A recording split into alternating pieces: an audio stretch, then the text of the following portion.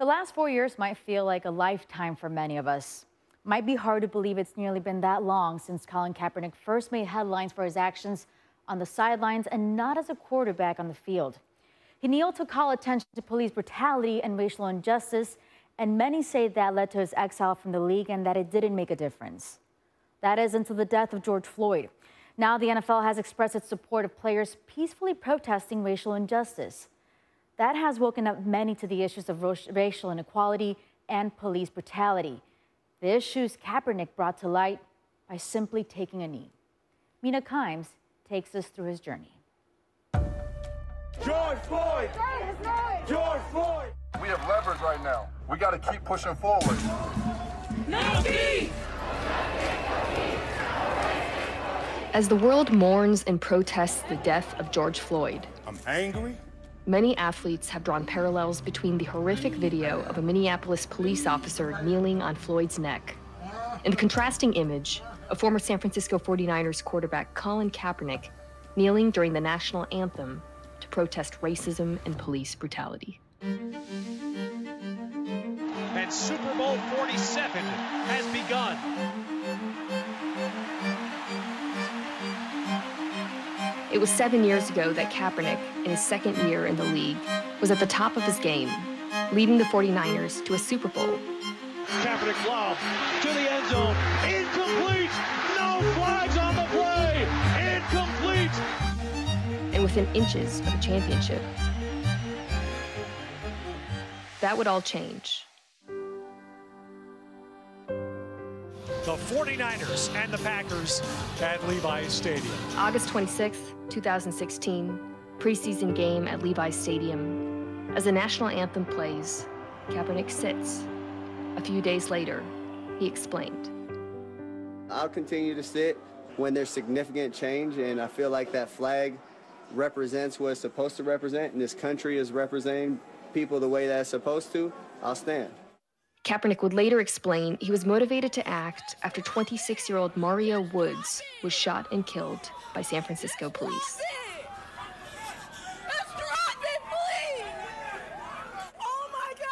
Are you serious? Stay back! Are you serious? There's a lot of things that need to change. One specifically is police brutality. There's people being murdered unjustly and not being held accountable. NFL star suddenly at the center of a national debate. Colin Kaepernick is speaking out about his protest. After Kaepernick's protest made national news, Nate Boyer, a former NFL long snapper and retired Green Beret, reached out to the quarterback and suggested he kneel instead of sitting as a sign of respect for the military. People were upset. People were on his team, against him. It was like it became this very two-sided divisive issue. I support the rights. Those are rights that I fought for. And whether we agree with them or not is not what matters. As the 2016 season progressed, other NFL players joined Kaepernick's protest, despite the backlash it inspired. The movement spread outside the NFL, from high school football players to U.S. women's soccer star Megan Rapinoe. I'm Colin Kaepernick, and I know my rights.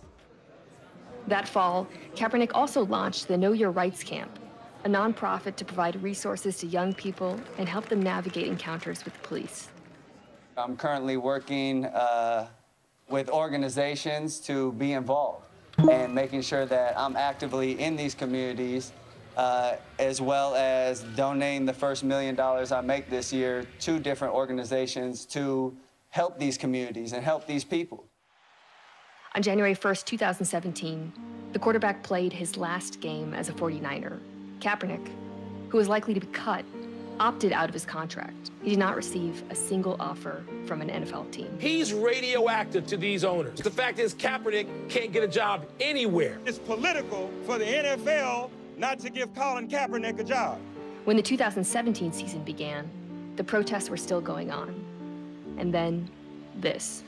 Wouldn't you love to see one of these NFL owners, when somebody disrespects our flag, to say, get that son of a bitch off the field right now, out, he's fired. He's fired! That weekend, players across the league took a knee.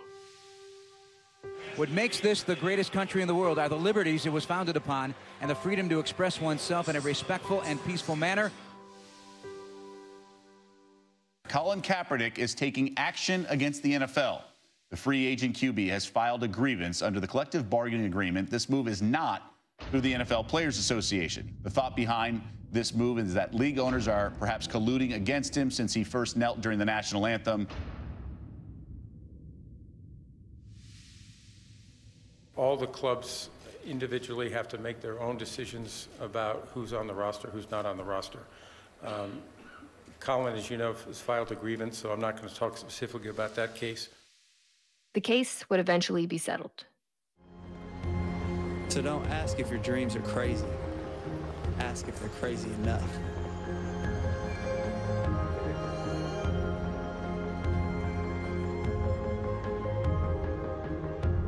In September 2018, Nike made Kaepernick, still out of the league, the face of a new ad campaign.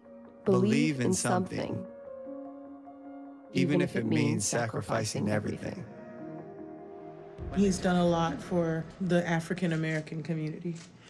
And it's cost him a lot. And, you know, it's it's sad, but having a huge company back him, I feel like that was a really powerful statement. As the 2019 season began, Kaepernick was still unsigned. Then, in week 11, the NFL announced, with little notice, that it would hold a private workout for Kaepernick. But after contentious negotiations broke down, the quarterback decided to hold his own workout. Only a handful of scouts showed up. How's everybody doing? How you doing? How you doing? I've been ready for three years. I've been denied for three years. We all know why I came out here, showed it today in front of everybody. I'll interview with any team at any time, and I'll continue to be ready. And now, six months later, as the NFL and its teams issue statements decrying systemic racism, as players and coaches make their voices heard, Kaepernick's name is being brought up again. Colin was trying to symbolize the oppression that was going on in America and that has been going on for 400 years. And the reality is what Colin was trying to do was that he was trying to do the right thing. Regardless of whether you agree with how he did it or not, that doesn't matter. What Colin was protesting was something that was should be respected by all humans. What you cannot do is use the flag as a blindfold. You can't you can't use the flag as a blindfold and not see the things you've seen with your very eyes that tell you that what's keeping this country held back is this systemic racism. Four years after Kaepernick first took a knee, much of the NFL and the world has rallied behind his cause. He remains an activist and recently raised funds to help protesters in Minneapolis. He also remains unsigned. Mina Kimes with that story. ESPN senior writer Howard Bryant joins us now. You heard Mina's last line there, Howard. Why do you think it is that Colin Kaepernick is still out of the NFL when others who protested racial inequality and pol police brutality back in 2016 have remained on rosters?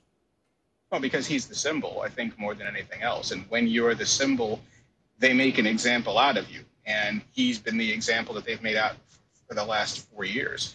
And I think that what this really says more than anything else was the the payback was permanent, and it has been permanent. His protest, obviously a peaceful one. In the context of this past week, it looks even more so. The players wanted the NFL to admit it was wrong in silencing players from peacefully protesting. Roger Goodell did that yesterday, Howard. How much weight do you put in those words? Well, you know what, David, I don't put a lot of uh, weight into it for a couple of reasons. One is because I disagree with the commissioner. The players, they did listen to the players. They listened to the players they wanted to listen to. They listened to Malcolm Jenkins. They listened to Anquan Boldin. They listened to a lot of players. What they did do, however, was they absolutely engineered the end of one player's career. And not only did they end one player's career, but they actually created an entire organization to neutralize him, The Players Coalition exists because Colin Kaepernick was kneeling.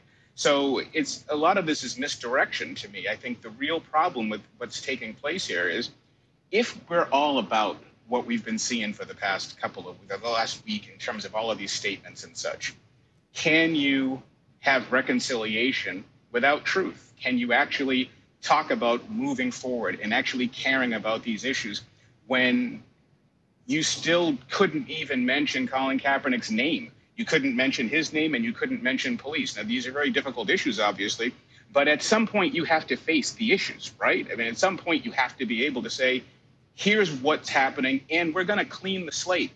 And there's no chance right now that it even appears that they're willing to do that. So I'm very dubious about all of it. Uh, okay, so if he mentions Colin Kaepernick's name, if Colin Kaepernick gets back in the league, what does that mean for the NFL on its stance for racial equality?